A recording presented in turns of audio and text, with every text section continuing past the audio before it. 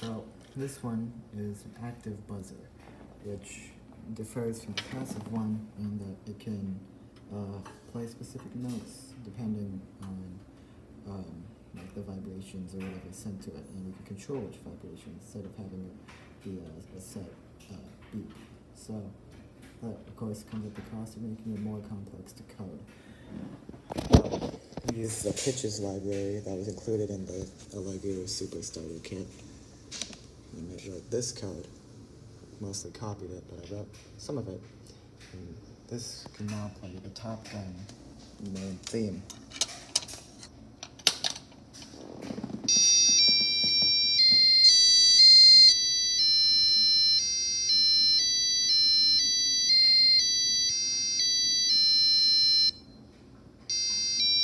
So, yeah.